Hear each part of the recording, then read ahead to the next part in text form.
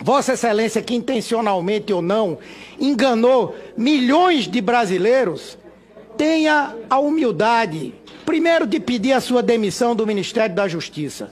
Não cabe uma pessoa com as acusações graves como essa ser o chefe da Polícia Federal. E segundo, peça desculpa ao povo brasileiro.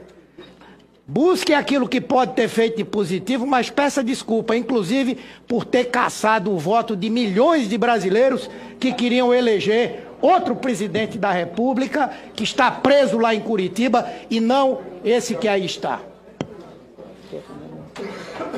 Ah, senador, desculpe, as afirmações são bastante ofensivas, eu vou declinar de responder.